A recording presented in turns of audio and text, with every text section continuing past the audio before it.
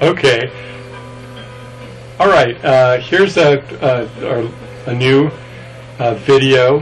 I, I want to explain um, something the previous two free writes uh, talked about. The extra credit figures were simile and metaphor. And there's some extra uh, important notes that I want to um, give about those two figures, and I wanted to um, do it in a separate uh, video thing. But also I want to take this opportunity to um, introduce you to my teaching assistant. This here is Rex, and oh, he's very excited about figures of speech. And so I just wanted to have an excuse to put him on video. Okay, so um, now down to business. All right, here we go. Um, no, not that. Hey, what is it? Ah. Is that it? I don't think so. Wait just a second. Where, where'd it go?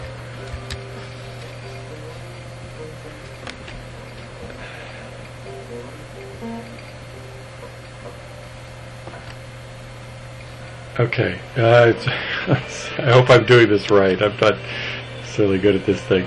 Okay. Um, so similes and metaphors, some important notes. All right.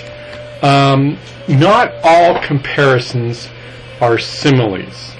Um, similes have to compare things that are similar in an important way or ways, as I mentioned before. Otherwise, they can't be compared. Uh, but the things also have to be different kinds of things. Otherwise, it isn't a figure of speech at all. Um, it's literal. Okay, remember, simile is a figure of speech. Remember what I said before about figurative versus literal. So, for example, here's a literal comparison. That dog is as big as a Great Dane. Not my dog, but some other dog out there. Okay? Now here is the simile. That dog is as big as a house. Okay? The Great Dane comparison doesn't work because the dog is, you know, a Great Dane is a dog. You're you're comparing two ki- two of the same kinds of things.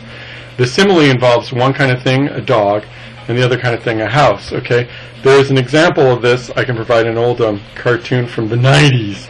Okay, and uh, you can tell it's old because if you look carefully in the um, top right corner, there is his uh, email address is an AOL address. Okay, and a lot of the references in the cartoon are um, 90s references. So Oasis, the famous uh, band from the 90s, English band from the 90s, Oasis, um, they're just the Beatlemania of the 90s. Beatlemania was another band um, back in the 70s.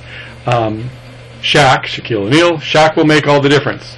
And uh, Charlie, the Australopithecine, says, oh yeah, Shaquille O'Neal is the Michael Jordan of the NBA. Of course, that figure doesn't work because those are both basketball players, okay? Um, I've always felt that Billy Joel is the American James Taylor. Al Pacino is the Robert De Niro of actors. Uh, I find that the 70s are the 60s of the 90s. I like that one an awful lot. Um, you know, spoons are the forks of silverware. And then the party people come to him. Charlie, you're annoying us with your sudden infatuation with analogies, analogy being a kind of simile, um, which your proto-hominid mind seems incapable of properly constructing. Uh, we'd like you to leave. Uh, and out in the hallway, he says, that's okay. That party was the bad party of parties. Oh, good one. Okay. So, oh, I do appreciate that Charlie, although he, he lacks a skill in the figures, he has uh, uh, desire. He's got great gusto for it. Okay, so now, so that's simile. Okay, now another thing, important thing to keep in mind is the difference between similes and metaphors. A simile has the word like or as in it. Okay, Juliet is like the sun. A metaphor, for something to be a metaphor, it does not have the word like in it. So the metaphor version is Juliet is the sun. Okay? Juliet is like the sun is a simile. Juliet is the sun is a metaphor. Okay? And so it's a and once you there's there's an important there's an important fact, there's some important ideas behind um, that difference. Uh, metaphors are not about things being like each other, things being comparable to each other.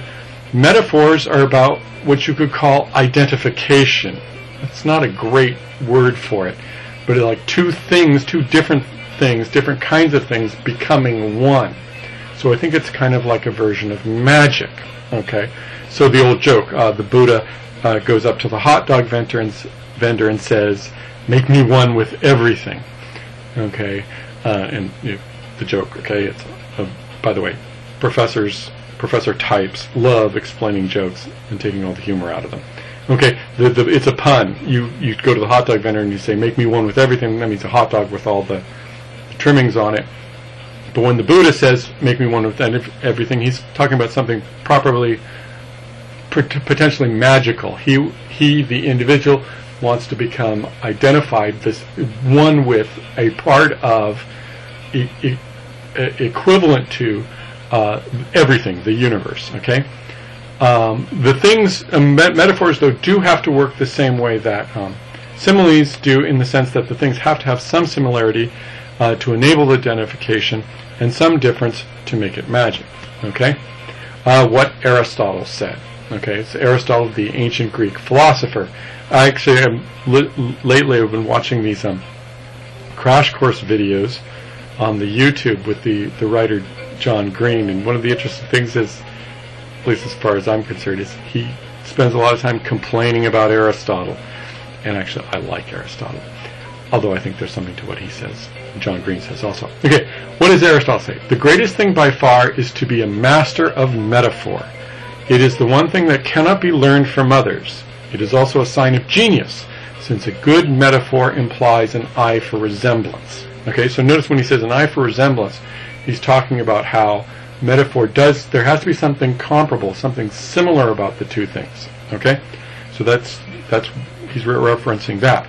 Um, and when he says when Aristotle says genius, he means something like what I would call magic. There's something uh, extra extraordinary about it. Okay. Um, now, why metaphors? Well, what, what's the purpose of metaphors? Why do you use metaphors at all? Um, and this um, this is a quotation from George Lakoff, the, uh, a professor of linguistics at the University of California, Berkeley, wrote, written a lot of stuff about metaphors. He says, in domains where there is no clearly discernible preconceptual structure to our experience, we import such structures via metaphor. Metaphor provides us with a means of comprehending domains of experience that do not have a preconceptual structure of their own. Uh, what on earth does that possibly mean? Okay, this is if you go to graduate school something bad happens to you in your life and you end up in graduate school in the humanities, you're going to, you're to read a lot of sentences like that. What does it mean?